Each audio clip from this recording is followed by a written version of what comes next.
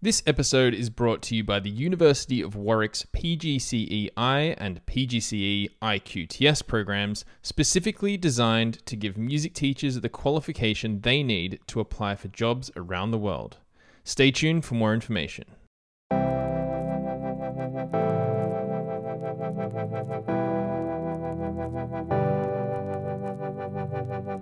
Welcome back to the Music Teachers in International Schools podcast. I'm your host, Chris Kulmer, and my guest for this episode is Rebecca Wade Chung, an MYP and DP music teacher and the MYP music subject coordinator, a mouthful, at the International School of The Hague in the Netherlands. And for long term listeners of the podcast, you might be thinking that this school, the International School of The Hague, has come up before on the show.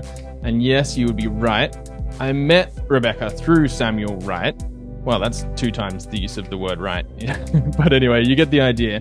He was my guest on episode two of the podcast and has also hosted some MTIIS conversation events for us over the last year. But I was lucky enough to get to know Rebecca last November, and as we were hanging out, she made this comment. She said, Chris, you haven't spoken to anyone on your podcast working in an international school based in the USA. And I knew there were a few international schools in the US, but she was right. I'd never explored this area specifically, and it's a fascinating area. It's almost like a reverse trajectory for international schooling, and I love it. So, before moving to the Netherlands, Rebecca had worked at Atlanta International School, so seemed like the perfect person to explore this topic with. Plus, I'm sure we'll dig into a bunch of other things too. So let's get into it. Rebecca, thanks so much for joining me. Yeah, thank you for having me this morning. So I always like to start with a similar kind of question, which is what was your initial journey to international school music teaching? Okay, I love telling the story actually um, because it was very on a whim. It wasn't something that was originally planned, which I feel like is also a very common theme with a lot of other guests on the show. So I had just finished grad school and it was 2008. So, of course, a time when the economy was falling out and teaching jobs were becoming scarcer and scarcer in the US. And I had taken a gig with an orchestra to actually play in China. So I went and I played in this orchestra. We did Shanghai and Beijing and Hangzhou and Suzhou. And through that, I had met someone through Fudan University in Shanghai. And after coming back to the US, this person sent me an email and said, Hey, I know of this international school that's hiring in Shanghai for a music teacher. Would you be interested in applying? So I applied, and all of this happened in about a month from finishing the tour to applying to the job to hopping back on an airplane and moving to Shanghai. And that's how I ended up with my teaching job and started that awesome adventure that lasted for six years. So when you heard of this international school in Shanghai, were you like, "Oh yeah, I've heard of these things," or was it completely new to you, the whole idea? Um, it was still a newer concept to me. I knew that there were international schools in other parts of the world. I had grown up as a military kid, so I went to DoD schools when I lived overseas in Europe as a child. But having a pure international school outside of an army or a military base was something that was new to me. So I was really excited to go and see what this international school community was all about. And just for an uninitiated Aussie, DOD is Department of Defense, right? Yes, it is. Yeah. okay, cool. So six years in China, was it in total? Yeah, six years in total. And then back to Atlanta or to Atlanta? Yeah. So Atlanta wasn't originally going to be in the stars. I think I had been applying through, like most people, you use search associates or other job opportunities to look for schools abroad. And I had been applying at several schools, and Atlanta International reached out to me and offered me an interview.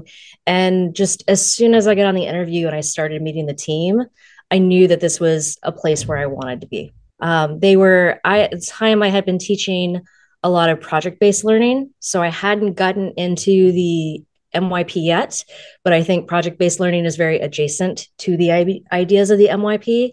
And this was not only a job offer that was general music and orchestra, but also was MYP and collaborative teaching. So at the time, it wasn't just collaborative teaching, it was also co teaching. So it was just like this really interesting mix of all the things that at the time I wanted in one package. And it was just the right job at the right time. And it brought me to Atlanta, Georgia, which is a place in the US that I had actually never lived before. Yeah. So give us a geography lesson here. Again, probably more for me than maybe others listening. But so Atlanta, and where were you before that? And how far apart are those two areas? So before I'd gone to university in North Carolina, which is still on the East Coast, but, you know, s- south, but not too far south. But Atlanta, Georgia is considered kind of like a deep south. So southeastern US. But, you know, Atlanta has such a rich cultural history. It was the location where the civil rights start- movement started in the US. And it's just, it's a really interesting melting pot of a city that actually has a very big international community due to a lot of international businesses that are based there. Yes. Okay, so that's starting to make a lot of sense because that was kind of one of my first thoughts was like, why would there be an international school there?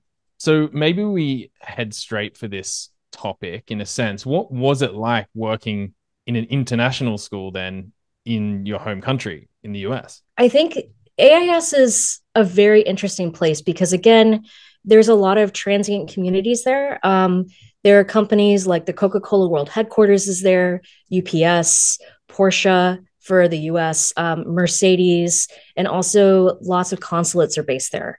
So, back about 37 years ago now, a group of people saw a need to have an international school where students could study in other languages. Because at the time in Atlanta, it was very easy to go to schools and study in English, but having a place where students could study in Spanish and German and French was something that didn't exist at the time. So this very, very small community of people got together and they started Atlanta International School. And now it is just blown up into a community that not only has the three languages, but a fourth one as well, which is the Mandarin program.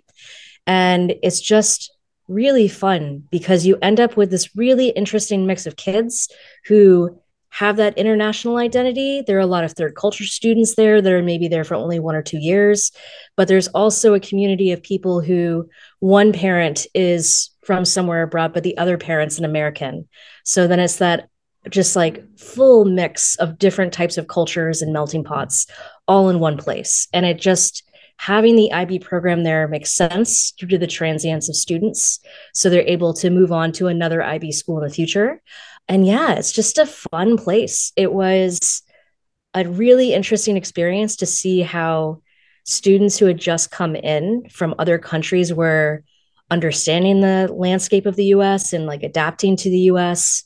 And it was just, it was just fun to have that adventure, but in your own home country. Yeah, I can imagine that. And when you say, just for clarity, when you say the four languages, were they mm-hmm. like the whole course was taught or the whole program was taught in that language? So, say if you're a Spanish speaker, you could do your whole schooling in Spanish, or was it mixed with English still? How did that work? So, in the primary years program, they do a 50 50 model of the languages. And then in the secondary program, you were able to study different levels of either language literature or language acquisition. And then you could even take your humanities in your language. And then as of course you get up in the older years, the program switches more and more to English to get to prepare students for the DP diploma program. Yeah, I, I really love this. This is so fascinating. And I really want to talk more about your your current role and what's going on in the Netherlands. But just to kind of maybe tie this up, you know, I, I said it in the intro. In my brain, it's almost like this reverse trajectory of international schooling where we often see schools, at least initially, set up for uh, expatriates working in countries where they need English. And now that's become a phenomenon where almost all international schools seem to be, or not all, but a lot, seem to be English language focused. And then you have this this reverse thing where you've got this amazing community with multiple languages and and a melting pot of cultures. What do you think it would be like? I mean, I can probably guess, but say compared to working in a general US school. Like, is does anything like this happen in the public system as opposed to something like what you experienced at AIS? I mean, I, I do believe that public schools in the US are also their own versions of melting pots, but I don't believe that there's necessarily this this community focus on language and to have cultures represented in such an equal and open way. Um, I think that's something that when you strip that identity of language and you take that away from students like in their day-to-day experience at school i think it it kind of takes a little piece of them away. And of course part of international schooling is one of the goals is we want students to go out and explore the world. And you know oftentimes we know that english is one of those languages that do connect people. But a lot of international schools i find personally still have that cultural heritage and that pride that they want students to also have. And I, I think that parts of that can exist in normal American school communities, but not nearly as much as it's showcased in international school communities. Yeah, it sounds like a quite a special place, specifically as well. AIS with with its structure. Really cool. Thanks for exploring that with me. And I would love to, yeah, hear from anyone else in the community that would like to add to this conversation or has a similar or different experience working in a context like this. Let's go to the Netherlands. And I mean, let's just start at the beginning. You're only, what, six, seven months at the time of this recording into the role.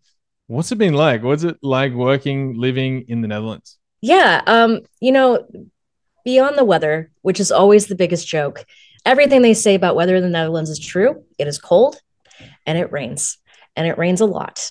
And I think um, learning how to ride your bike in extreme weather has been something that's been a really fun kind of adventure and not always the most pleasant experience. But beyond that, the school here is just such a interesting place. It is a lot bigger than my old school. It's almost twice the size. So I think going from a smaller community to a larger community is definitely a big um, kind of curveball I have to get to know a lot more students. Uh, class sizes are a little bit larger, but there's also something fun in having a full group all the time in your classroom and having the energy of all the bodies and all the people that you have to get to know and that know you. So I think that aspect of the largeness of this community has been something that's been a new adventure for me and really fun. Also, just being based here in The Hague the idea of the international community is a very true thing. Something that kind of makes me giggle, but I, I really love about our roster, for example, is on our class rosters next to the student's name, there's the flag of the country they're from. And in a group of 25, everyone's flag is different. And that's just something that I think is really special. And I think that there's a lot of consideration into how students are placed but then, even talking to students who have been here for years versus students who've been here for six months, everybody just has different adventures here. And it's kind of nice to be the new kid in a way, getting to know a new community, getting into new, new cultural things even having students ask me questions about, oh, where have you been to visit? Or, hey, you should check out this restaurant and just getting to know a new place again. I think there's a lot of excitement in that. And that's a part of international teaching that sometimes we forget about when we've been at a place for a long time. That is a good point. And I mean, you mentioned the challenge of the weather and the rain. Has there been any other kind of major challenges that you've faced so far?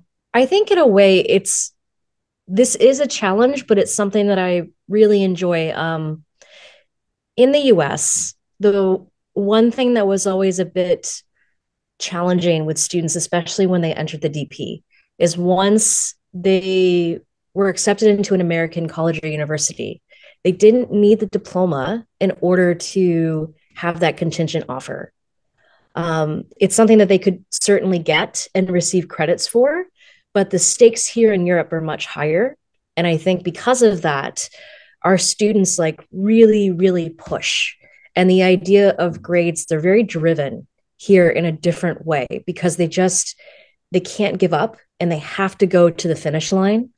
And for me that's something that i haven't seen in a while from students like all the students wanting to push versus in the us sometimes some students might get what we call senioritis where they kind of take a step back a little bit.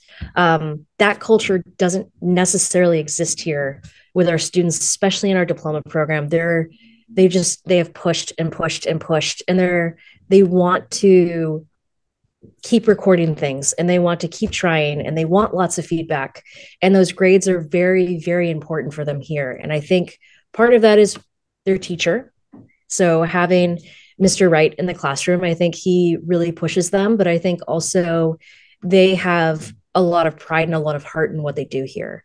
And that's been something that's just been a nice challenge because they they constantly want feedback. They constantly want to get better. They constantly want to create. And I think I haven't had students in a long time that are just so driven in this way in the older years. So it's been a it's been a really positive change, but it definitely is something that also makes me as the teacher have to like really step up and and really work with them in a way to continue to push them and continue to want to drive them to success. That's a great answer to that question. It's a really nice challenge in a way, but I can see how it would be a challenge. Yeah, and I think the other thing too is, you know, sometimes when we've been in communities where we've taught curriculum that's the same for a long time, we tend to get very comfortable in what we do. Um, and I've been very fortunate in coming to ISH. This is the first time in my career that I have walked into a program that had a curriculum, like a fully realized curriculum. And even though we're still developing and changing things, I've never walked into, I feel like most people experience this. I've never walked into a school and just had someone go, here you go here's our units. They've all been written up. Here's what we do. Help me make it better. And that's something that, you know, normally we come in as educators and we're starting from ground zero. And that might be for different reasons. Maybe it's different teaching styles coming into schools. Maybe it's just trying to flip and change everything. And we want to put our own twist on things. And I think that's something that's really important in what we do in our classrooms. But to just be able to come in and adapt to the environment and to get to know the kids and to not be so stressed out with the creation of things was something that was a huge change. Can imagine a fair few people listening going, Yes, I arrived at school X and there was nothing, or I had to start everything from scratch. So, really nice. And then to be allowed to contribute to that. It wasn't just like, Here's your thing and that's it. It's like, Here's your thing, let's make it better, like you said, which is that's really nice too. A bunch of MTIIS community members have successfully secured international school music teaching jobs after completing their online PGCE-I or PGCE IQTS courses through the University of Warwick. If you're looking for a university qualification to teach music in an international school, this is the best option I've seen so far. To learn more and register, visit warwick.ac.uk forward slash CTE. That's W A R W I C K dot AC dot UK forward slash CTE. I want to ask about string teaching and MYP because right at the beginning you mentioned your sort of yeah your time in China and how that started with with playing in an orchestra right? It was am I correct with that? Yeah. Yeah touring orchestra. And then I'm yeah we, have chatted a bit about your experience teaching strings but now your role is you know MYP DP music teacher MYP music subject coordinator how's that going for you? And how have you transitioned maybe between those two roles? I mean they tend to have like string teacher is a thing you know almost like an identity and myp music teacher can be seen as quite a different thing. How do they interact? How have you transitioned from one to the other? Do they still connect in a way for you? Yeah so i think in the us especially um, many music education programs are you either go the route of I'm going to teach choir or I'm going to teach instrumental music ed. And um, I was actually talking about this yesterday. So funny. In my undergrad, I took one course that was a combination of choral methods and general music methods in one semester. Yeah, wow. And that was the only exposure to general music I had before teaching it.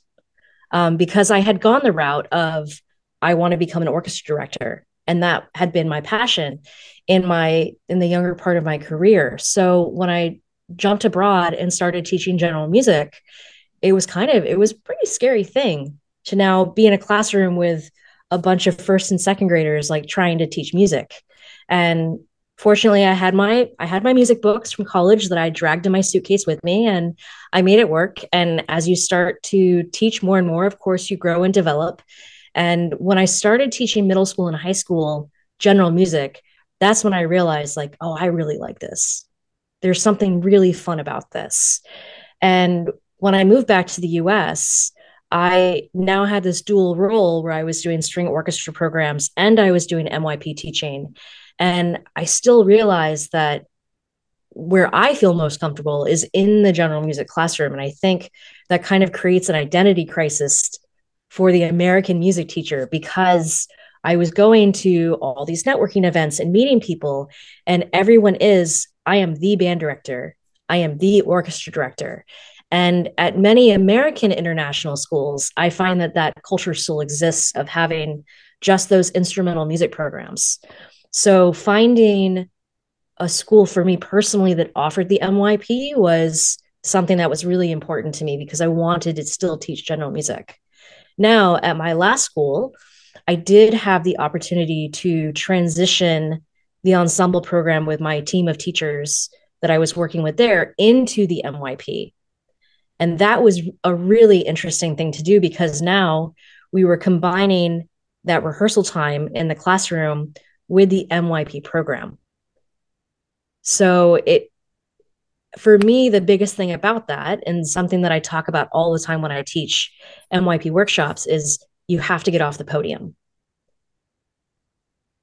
So now how are you teaching? Still this idea of we're going to do projects and we're going to be passion based in certain concepts and skills but how can i still teach that repertoire that i want to teach? How can i still get them ready for performance? And i think that's just that was such an interesting and fascinating ride and then coming here i'm going back into that very international school style of having the general music classes during the day and having the ensemble programs be co-curricular after school so it's been interesting to I've literally flip flopped both of these things throughout my entire career. And I think there's joy in both of them. It takes a very different set of skills, but something that I think when I'm working, especially with ensemble based groups, that I really consider is at the end of the day, my kids don't need the trophy. I don't need the plaque on the wall. That was never something that was important to me. And I just, for my personal beliefs, I don't want to be in a program that does that. But what I do want the kids to walk away with is feeling like they were part of a group, learning how to listen to each other, learning how to work together and build those skills as a team. And that's something that only on uh, ensemble and sports programs, those are the two places where you can create that synergy with a student that, it, that I find the most. And then you also get to know them on such a deeper and more personal level.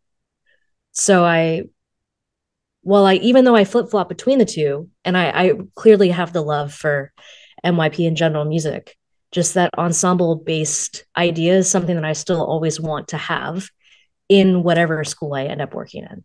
Can I probe a little bit more on this transition? Because you said, if I understood correctly, the idea of get off the podium was the line that I think I remember you using, which makes sense would there be any other words of wisdom or pieces of advice that you would give to someone that's maybe doing that transition? Like, I would like to even understand more what that actually meant to get off the podium. Did, were you literally in the ensemble more, or like how did how did that work? Yeah, can you explore that any further?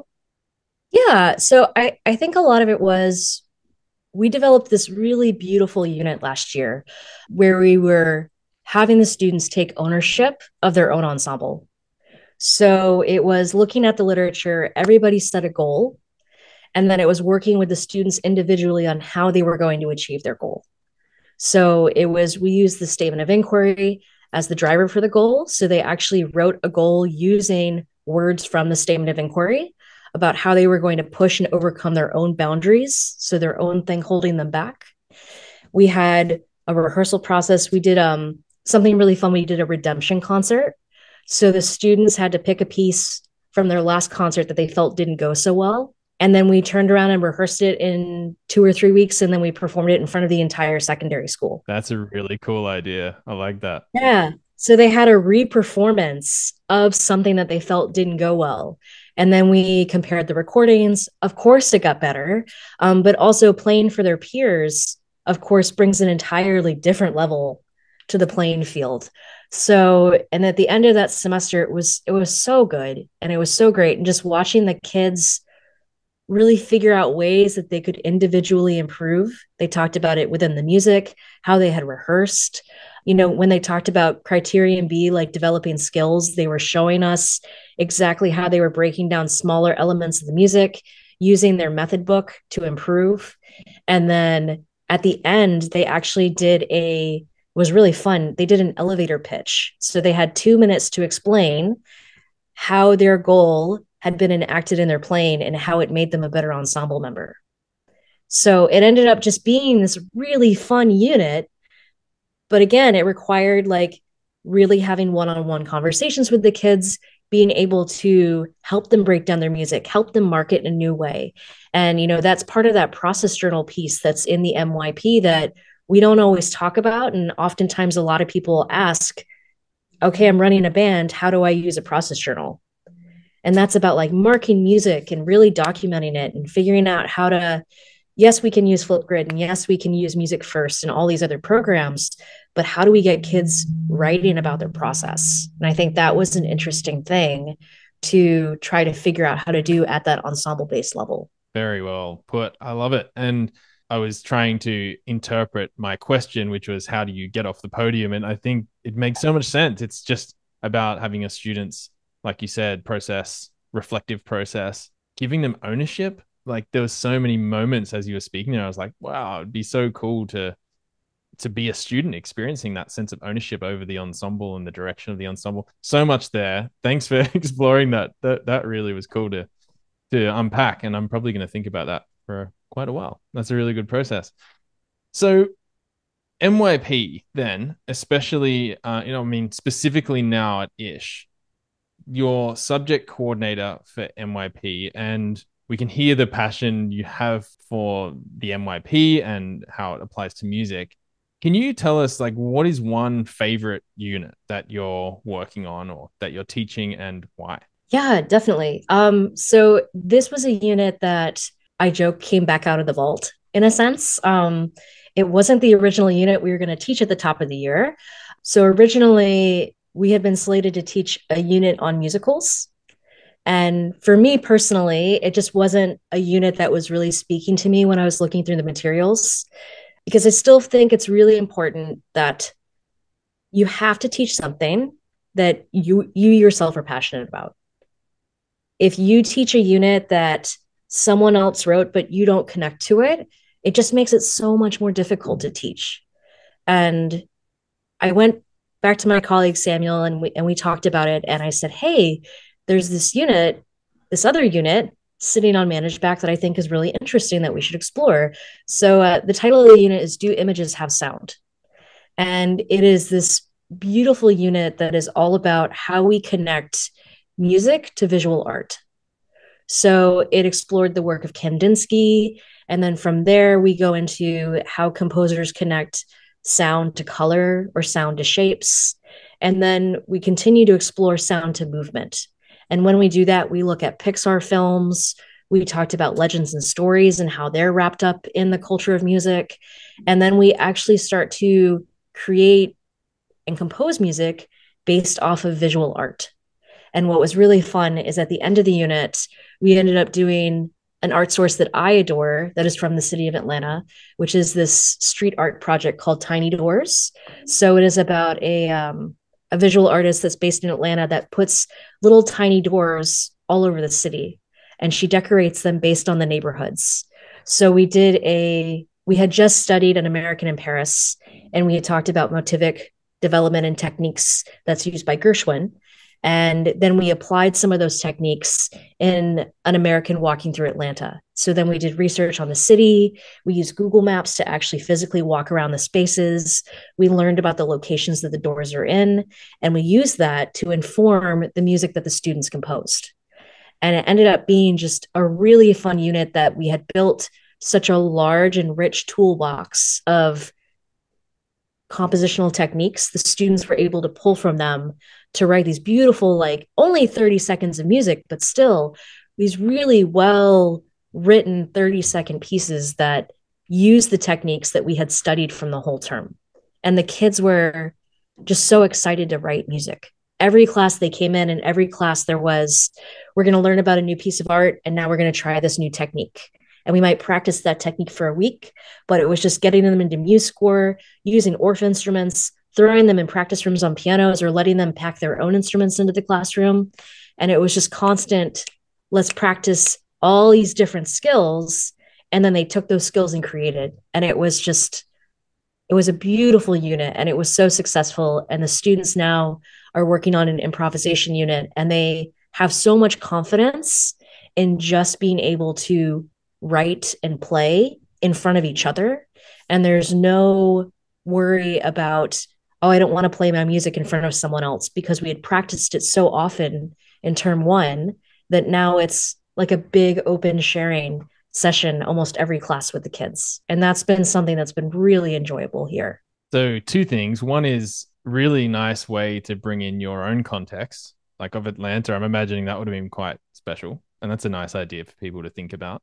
And secondly, a question which is you mentioned the students use MuseScore. So I'm imagining this was sort of standard Western notation. That was kind of the output was there some connection to and maybe i missed this but some connection to the visual art element in the final kind of presentation of the work or delivery of the work was it like you saw the artwork with the motifs or how did that sort of happen yes we were based in MuseScore and we did a lot of things with standard western notation but actually we had begun the unit just by doing graphic scoring so we broke out a bunch of different colored pens and pencils and for the first couple pieces before we got into notation, we actually just drew images. So we would listen to music and we would draw the lines and we would draw the swirls and the squiggles and the sounds.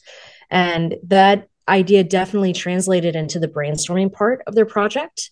So they might talk about like I want the music to sound like this and instead of instead of explaining it with words, they might draw small sketches or ideas, which was something that was open to interpretation when it came to they they did a final presentation and when it came to that final presentation they actually had to annotate their own scores so then that was a really cool thing in their presentations when they showed the artwork they explained what inspired them and then they turned around and they actually had their scores on the screen and they had used either highlighters or colored pens or had used something in paint for example on um, their computers and they had actually written like here's where i fragmented my motif. Here's where i have a sequence. Here's where i augmented my rhythm to stretch it out.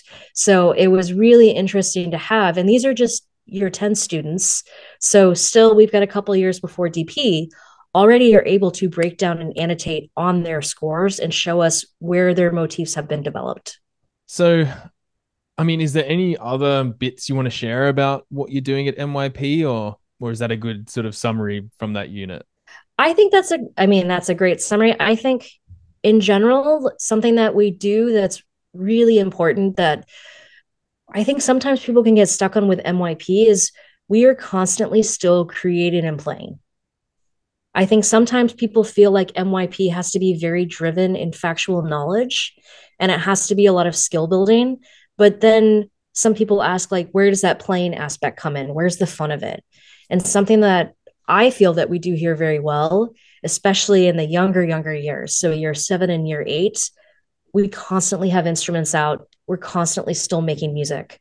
So what I just would want to say in general is you can still have both with MYP. It doesn't have to be one or the other. And I think it's still really important that when we're in these general music classes, we're still there to make music. And there's still so much joy and discovery of learning that happens when we just create. And I think that's a really important thing that still needs to be happening in the classroom, even with skill building.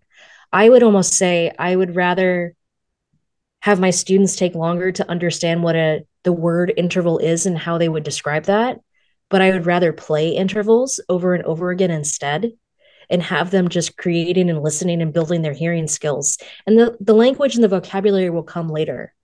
But the skill building, if you take that away and you take away the joy of making music, then we're just going to build students that maybe resent our subject. And that's something that I don't want to see happen. I want to see that joy when they come in the room, knowing that we get to play, we get to have fun, and just keeping that playfulness in our subject alive, I think is something really important in the MYP that can sometimes unfortunately get lost. Great point. Well, this has been so nice. And thank you for, yeah, deep diving on that unit in particular. Um, I guess just a question out of interest, but I'm sure listeners might be thinking, would you be happy to share some of the like bones of that unit if people wanted to do it or try it in their own school? Absolutely. Um, I am happy to share some materials.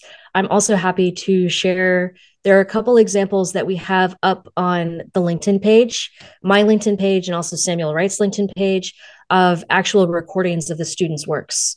So those are easily, you can go on, you can see those. But if you're curious, I would be more than happy to share more materials or things about that unit. That's so cool. And we'll make sure we link to your LinkedIn page in the show notes for everyone. And maybe also to yeah anything else that you're happy to share we'll also link that into the show notes but that's a great suggestion just while we're on that is that kind of the best way to contact you if someone's thinking oh i'd really love to chat more with rebecca and sort of like learn more about maybe that transition from strings to myp or what you've just spoken about with with the myp unit. Is that the best way to catch you at the moment linkedin? Yes. I would say linkedin is the quickest way to get a hold of me. And also just in general i think what's so nice not only about this podcast but also about the community right now of linkedin is that's that's how i found my people. That's how i think when we're we feel so isolated sometimes in our schools and we have this amazing online community that you can even just search like hashtag myp music or hashtag general music and there's amazing things out there right now so definitely um, feel free to reach out to me on linkedin I'm happy to answer questions or just even have a chat with people. But I feel like this is how I found my people. So I would encourage people to also do that as well. Mm, I would agree with that. Yeah. LinkedIn is such a useful space, like a really genuinely useful space these days. Rebecca, what's what's ahead? 2024. At the time of recording, we're in sort of end of Feb. What's uh, what's the rest of the year looking like for you? What are you looking forward to about 2024? Yeah, we are in a really interesting position right now. We just hired on a new colleague who also has been featured on your podcast, um, which is so which is so random because we had no idea that that was going to happen. But yeah, it was so good. Uh, so we have a new music colleague, Emilio Pereira, who is a part of our teaching team, and just he is as passionate as the rest of us on the team, and just getting to know a new team member continuing to build and develop curriculum. I love being in the MYP role. It is something that I feel very confident in doing. And just, I'm excited to keep exploring and building and developing curriculum. And I think when you're with people that also have that passion, that excitement, we can we can only go up from here. So I'm just looking forward to making music, working with new creative people, and just seeing how we can grow and develop as a team. Well, thank you again so much for taking the time. And I'm looking forward to catching up with you again and um, maybe going for a bike ride and seeing if we can stay upright in the uh, the dodgy Dutch weather. Before we wrap up, is there anything you want to leave us with? Any questions, thoughts, comments, final things uh, before we before we wrap up? I would just say, please, let's continue to build community and podcasts like this are really important. And Chris, thank you for having me today. Pleasure. Thank you so much. And yeah, catch you again soon, I hope. All right. Take care. Thank you for listening to this episode of the Music Teachers in International Schools podcast. Listen to other episodes by visiting mtiis.com or learn more about our community on Facebook by simply searching for Music Teachers in International Schools. If you know someone who you think I should get on the podcast, I'd love to hear from you. You can find me at chriskoelma.com. C H R I S K O E L M A.com. See you next time.